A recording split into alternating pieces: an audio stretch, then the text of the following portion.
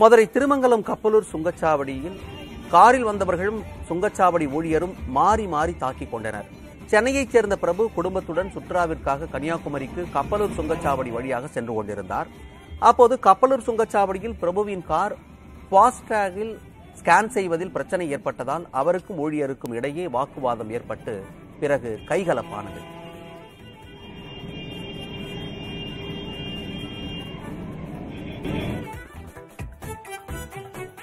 திருச்சி மாவட்டம் லால்குடி நகர் சார்பில் சாலைக்கு வைக்கப்பட்ட சாராயக்கடை சந்து என்ற பெயர் பலகையை அகற்ற கோரிக்கை எழுந்திருக்கிறது. பத்தொன்பதாவது வார்டில் ஒரு வீதிக்கு நகராட்சி நிர்வாகம் சாராயக்கடை சந்து என பெயர் வைத்தது தங்களுக்கு தர்ம சங்கடத்தை ஏற்படுத்தியுள்ளதாக அப்பகுதி மக்கள் தெரிவித்திருக்கிறார்கள்.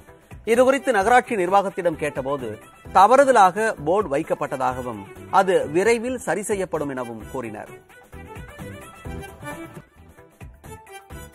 கள்ளக்குறிச்சி மாவட்டம் உளுந்தூர்பேட்டை அருகே சாலை பணியை முடிக்காமலேயே முடிந்தது போல் பில் தொகையை தரக்கோரி பொறியாளரை திமுக நிர்வாகி தாக்கிய காணொளி வேகமாக பரவி வருகிறது. ஆத்தூர் ஊராட்சியில் சாலை அமைக்க மூன்று லட்சத்து அறுபதாயிரம் ரூபாய் நிதி ஒதுக்கப்பட்ட நிலையில் அதற்கான ஒப்பந்தத்தை திமுக பிரமுகர் சுப்பிரமணியன் பெற்றிருக்கிறார். ஆனால் சாலை பணிகளை முழுமையாக முடிக்காமல் முடிந்தது போல் பில் போட்டு தரக்கோரி ஒன்றிய பொறியாளர் ராஜசேகரிடம் கேட்டுள்ளார் அதற்கு மறுப்பு தெரிவித்த அவரை சுப்பிரமணியன் தகாத வார்த்தைகளால் திட்டியதோடு தாக்கியும் உள்ளார். இதனால் ஒன்றிய அலுவலகத்தில் இருந்தவர்கள் அதிர்ச்சி அடைந்தனர்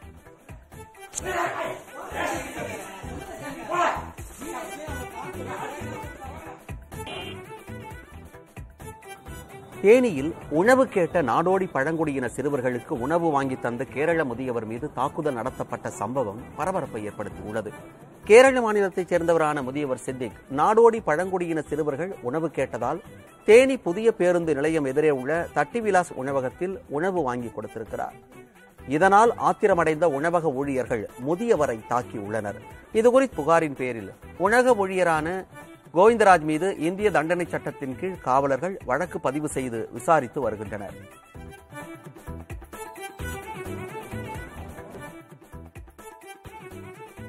கள்ளக்குறிச்சி மாவட்டம் திருக்கோவிலூர் பகுதியில் இருசக்கர வாகனத்தில் நான்கு பேர் அதிவேகமாக பயணம் செய்யும் காணொளி சமூக வலைதளங்களில் வேகமாக பரவி வருகிறது. சட்ட விதிகளை மீறி திருவண்ணாமலை விழுப்புரம் பிரதான சாலையில் பயணித்த நால்வர் மீதும் காவல்துறையினர் தக்க நடவடிக்கை எடுக்க வேண்டும் எனவும் சமூக ஆர்வலர்கள் சார்பில் கோரிக்கை விடுக்கப்பட்டுள்ளது.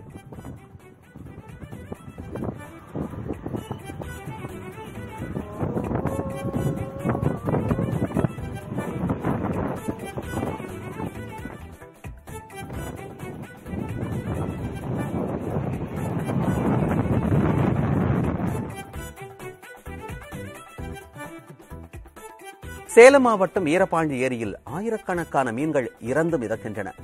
அரியானூர் அருகே உள்ள வீரபாண்டி ஏரிக்கு திருமணி முத்தாற்றிலிருந்து தண்ணீர் வருகிறது. மழை இல்லாததால் ஏரிக்கு தற்போது தண்ணீர் வராத நிலையில் சாயப்பட்டறை கழிவுகள் கலப்பதாக கூறப்படுகிறது. இந்நிலையில் ஏரியில் ஆயிரக்கணக்கான மீன்கள் இறந்து கரை ஒதுங்குகின்றன. மீன்கள் இறந்து மிதப்பதற்கான காரணத்தை கண்டறிந்து உரிய நடவடிக்கை எடுக்கப்படும் என்று நீர்வளத்துறை அதிகாரிகள் தெரிவித்திருக்கிறார்கள்.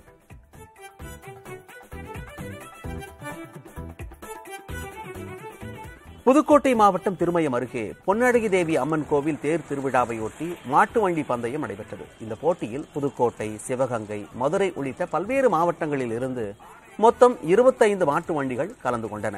பெரிய மாடு கரிச்சான் மாடு பூஞ்சிட்டு மாடு என மூன்று பிரிவுகளாக போட்டிகள் நடைபெற்றன. போட்டியில் வெற்றி பெற்ற மாட்டு வண்டிகளுக்கும் அதன் உரிமையாளர்களுக்கும் ரொக்க பரிசுகள் வழங்கப்பட்டன.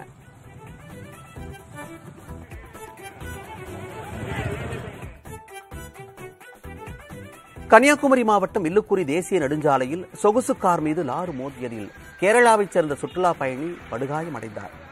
அதிக பாரம் ஏற்றிச் செல்லும் லாரிகளால் அடிக்கடி விபத்து நேரிடுவதாகவும் அது குறித்து உடனடியாக நடவடிக்கை எடுக்க வேண்டும் என்றும் அப்பகுதி மக்கள் கோரிக்கை விடுத்திருக்கிறார்கள். விபத்து குறித்து காவல்துறையினர் விசாரித்து வருகின்றனர்.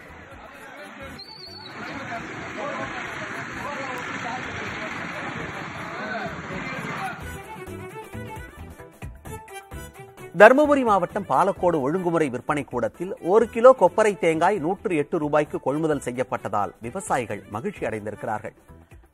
வெளிச்சந்தையில் விலை குறைவாக இருப்பதாக கூறும் விவசாயிகள் மத்திய அரசின் விலை ஆதார திட்டத்தின் கீழ் ஒரு கிலோ தேங்காய் நூற்று எட்டு ரூபாய் அறுபது காசுகளுக்கு கொள்முதல் செய்ததால் உரிய விலை கிடைத்ததாக மகிழ்ச்சியோடு கூறினர்.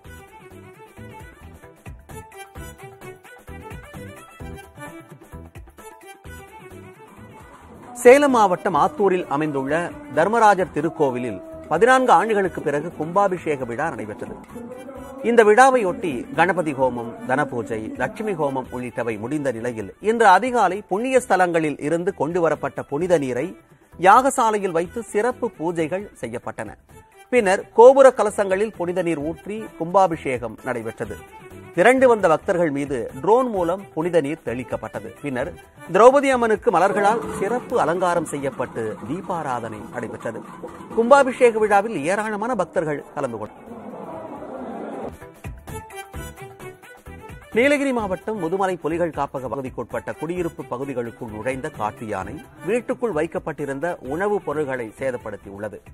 வனத்துறையினரின் கண்காணிப்பையும் மீறி தெப்பக்காடு கிராம வீடுகளுக்குள் நுழைந்த யானை வீட்டில் இருந்த அரிசி கோதுமை ராகி உள்ளிட்ட உணவுப் பொருட்களை தின்று சேதப்படுத்தி உள்ளது குடியிருப்பு பகுதிக்குள் காட்டு யானைகள் வராமல் இருக்க வனத்துறையினர் உரிய நடவடிக்கை மேற்கொள்ள வேண்டும் என்று அப்பகுதி மக்கள் கோரிக்கை விடுத்திருக்கிறார்கள்.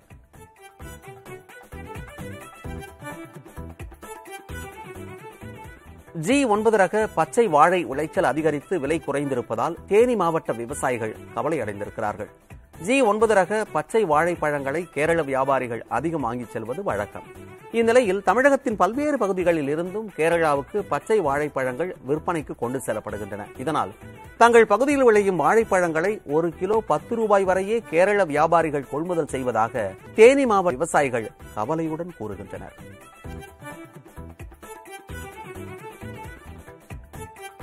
கன்னியாகுமரி மேற்கு கடல் பகுதியில் ஜூன் ஒன்றாம் தேதி முதல் ஜூலை மாதம் முப்பத்து ஒன்றாம் தேதி வரை மீன் தடைக்காலம் அமலுக்கு வருவதாக அறிவிக்கப்பட்டுள்ளது. கன்னியாகுமரி மாவட்டம் ராஜாக்கமங்கலம் முதல் நீரோடி வரையிலான மேற்கு அரபிக்கடல் பகுதியில் அறுபத்தோரு நாள்கள் மீன்பிடி தடை விதிக்கப்பட்டிருப்பதால் வரும் முப்பத்தொன்றாம் தேதிக்குள் விசை படகுகள் கரைக்கு திரும்ப வேண்டும் என கன்னியாகுமரி மாவட்ட ஆட்சியர் ஸ்ரீதர் உத்தரவிட்டுள்ளார். கரைக்கு திரும்பாத விசை படகுகளின் உரிமம் ரத்து செய்யப்படும் என்றும் மீனவர்களுக்கு எச்சரிக்கை விடுக்கப்பட்டுள்ளது.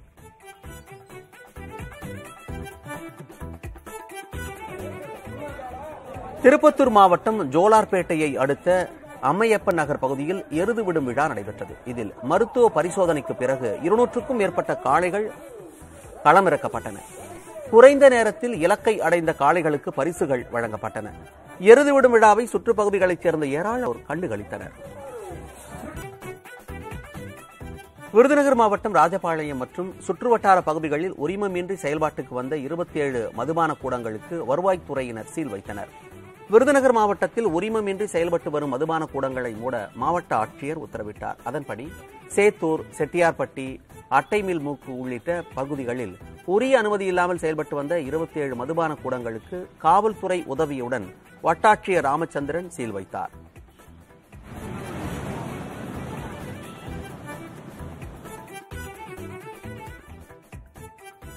கள்ளக்குறிச்சி மாவட்டத்தில் மணக்கோலத்தில் வந்து ஆசி பெற்ற மாற்றுத்திறனாளி தம்பதிக்கு திருமண பரிசாக இலவச வீட்டுமனை பட்டாவும் வீடும் வழங்கப்படும் என்று மாவட்ட ஆட்சியர் உறுதியளித்தார் மாற்றுத்திறனாளிகள் சங்கத்தைச் சேர்ந்த சேகர் செல்வி இருவரும் திருமணம் செய்து கொள்ள உள்ளதாக மாவட்ட மாற்றுத்திறனாளிகள் நல அலுவலரிடம் உதவி கோரி முறையிடப்பட்டது.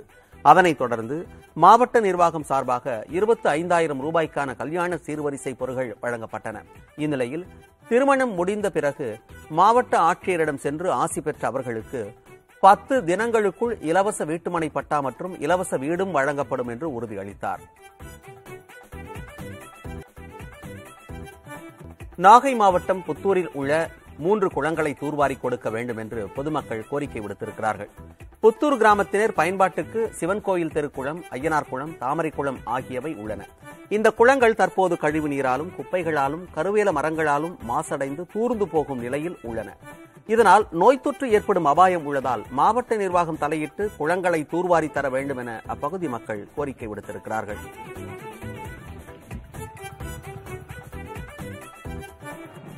காஞ்சிபுரம் குமரக்கோட்டம் சுப்பிரமணிய சுவாமி கோவிலில் சிவாச்சாரியார்கள் வேதமந்திரங்கள் முழங்க வைகாசி பிரம்மோற்சவம் கொடியேற்றத்துடன் தொடங்கியது. அதிகாலையில் மூலவருக்கும் உற்சவர் சுப்பிரமணிய சுவாமிக்கும் சிறப்பு அபிஷேகம் செய்யப்பட்டது. பிரம்மோற்சவத்தை ஒட்டி இன்று முதல் காலை மாலை என இரு வேளைகளில் பல்வேறு வாகனங்கள் வள்ளி தெய்வானையுடன் முருகன் எழுந்தருளி பக்தர்களுக்கு காட்சி தர உள்ளார். தருமபுரி மாவட்ட காரிமங்கலம் வாரச்சந்தையில் பதினெட்டு லட்சம் ரூபாய் மதிப்புக்கு தேங்காய்கள் விற்பனையானதால் விவசாயிகள் மகிழ்ச்சி அடைந்திருக்கிறார்கள் சுப முகூர்த்த தினங்கள் திருவிழாக்கள் நடைபெறுவதால் சந்தைக்கு ஒன்றரை லட்சம் தேங்காய்களை விவசாயிகள் விற்பனைக்கு கொண்டு வந்திருந்தனர். முதல் ரக தேங்காய் இருபத்தி மூன்று ரூபாய் வரையிலும் இரண்டாம் ரக தேங்காய் பதிமூன்று ரூபாய் வரையிலும் விற்பனையாகின.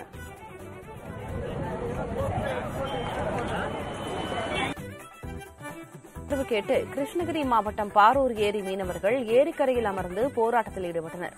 மீன்வளத்துறை கட்டுப்பாட்டில் உள்ள இந்த ஏரியில் மீன்கள் வளர்க்கப்பட்டு மற்ற மாவட்டங்களுக்கு விற்பனைக்கு அனுப்பப்பட்டு வருகின்றன. இந்த ஏரியில் மீன்பிடிக்க ஐம்பத்து மூன்று பங்கு மீனவர்களும் ஐம்பத்து மூன்று துணை மீனவர்களும் உள்ளனர். மீன்களை பிடிக்க ஒரு கிலோவுக்கு இருபத்தைந்து ரூபாய் கூலியாக வழங்கப்பட்டு வந்த நிலையில் தற்போது இருபத்தோரு ரூபாய் தான் வழங்குவதாக கூறப்படுகிறது. இதனால் போதிய வருவாய் இல்லாமல் சிரமப்படுவதாக கூறி ஏரிக்கரையில் மீன்பிடி தொழிலாளர்கள் அமர்ந்து போராட்டத்தில் ஈடுபட்டனர்.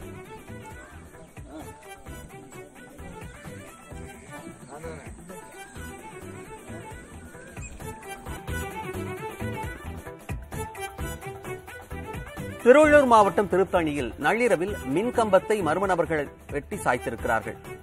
சென்னை திருப்பதி தேசிய நெடுஞ்சாலையிலிருந்து அரக்கோணம் சாலையை இணைக்கும் புறவழி சாலையில் உள்ள மின்கம்பங்களை சில அடையாளம் தெரியாத நபர் சேதப்படுத்தி இருக்கின்றனர் இதை கண்ட பொதுமக்கள் காவல்துறைக்கு கொடுத்த புகாரின் அடிப்படையில் வழக்கு பதிவு செய்திருக்கிறார்கள்.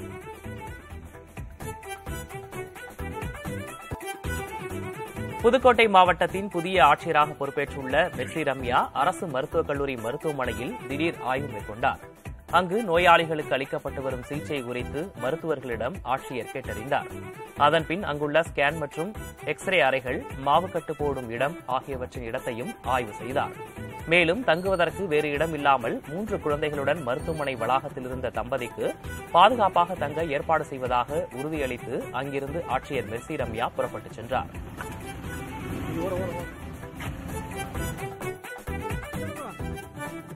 ஈரோட்டில் மூன்று கோடியே தொன்னூறு லட்சம் ரூபாய் வாடகை பாக்கி செலுத்தாத தனியார் பள்ளிக்கு அதிகாரிகள் சீல் வைத்தனர். ஈரோடு மாவட்டம் சம்பத் நகரில் ஆயிரத்து தொள்ளாயிரத்து தொன்னூற்றி எட்டாம் ஆண்டு வீட்டு வசதி வாரியத்திற்கு சொந்தமான ஐம்பத்தி ஐந்து சென்ட் இடத்தை ஜெயலட்சுமி என்பவர் வாடகை எடுத்து அம்மன் மெட்ரிக் மேல்நிலைப் பள்ளியை நடத்தி வந்துள்ளார். முதல் மூன்று ஆண்டுகள் வாடகை செலுத்திய ஜெயலட்சுமி பின்னர் வாடகை செலுத்தவில்லை என கூறப்படுகிறது. இரண்டாயிரத்து பத்தொன்பதாம் ஆண்டு அதிக வாடகை கேட்பதாக உயர்நீதிமன்றத்தில் அவர் வழக்கு தொடர்ந்தார். இந்த வழக்கை நீதிமன்றம் தள்ளுபடி செய்தது. வாடகை செலுத்தாததால் தற்போது பள்ளிக்கு சீல் வைத்த அதிகாரிகள் இந்த இடம் தமிழ்நாடு வீட்டு வசதி வாரியத்திற்கு சொந்தமான இடம் என நோட்டீஸ் ஒட்டியுள்ளனர்.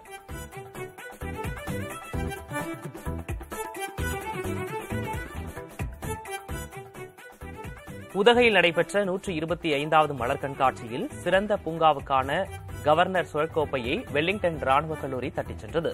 உதகை அரசு தாவரவியல் பூங்காவில் நடைபெற்ற நூற்றி இருபத்தி ஐந்தாவது மலர் கண்காட்சியில் முப்பத்தி ஐந்தாயிரம் தொட்டிகளில் முன்னூற்று இருபத்தி ஐந்து ரகங்களில் மலர்கள் காட்சிப்படுத்தப்பட்டிருந்தன.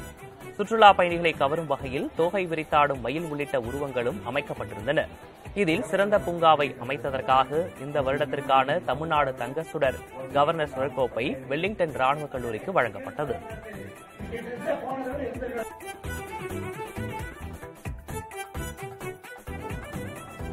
பழனி மலையடிவாரத்தில் உள்ள வீடுகளை அகற்ற ஆய்வுக்கு சென்ற அதிகாரிகளிடம் பொதுமக்கள் வாக்குவாதத்தில் ஈடுபட்ட போது கோட்டாட்சியர் காலில் கவுன்சிலர் விழுந்ததால் பரபரப்பு ஏற்பட்டது. திண்டுக்கல் மாவட்டம் பழனி அடிவாரம் அண்ணாசெட்டி மடத்தைச் சேர்ந்த நூற்றுக்கும் மேற்பட்ட குடும்பங்கள் நூற்றி ஐம்பது ஆண்டுகளுக்கு மேலாக அப்பகுதியில் வசித்து வருவதாக கூறப்படுகிறது. மலைக்கோவிலை சுற்றியுள்ள பகுதிகளில் உள்ள ஆக்கிரமிப்புகளை அகற்றவும் கோவில் விரிவாக்கப் பணிகளில் ஈடுபடுவதற்காகவும் கோட்டாட்சியர் மற்றும் வட்டாட்சியர் சென்றனர். அப்பகுதி மக்கள் பட்டா கேட்டு அதிகாரிகளுடன் வாக்குவாதத்தில் ஈடுபட்டனர். அப்போது திமுக கவுன்சிலர் தீனதயாளன் காலங்காலமாக வசித்து வருவோரை அங்கிருந்து அகற்றக்கூடாது என கூறியவாறு கோட்டாட்சியர் காலில் விழுந்தார். இல்லைன்னா உங்க வாடகைட்டு போயிட்டாரு சார். இல்ல சார் அவரு ரெக்வஸ்ட் பண்ணாரு. அவரு வந்து ஆர்டர் போடலைங்க சார். ஆர்டர்லாம் சார் இப்ப எப்படி இடம் சார் இது. நீங்க எங்களுக்கு பட்டா கொடுங்க.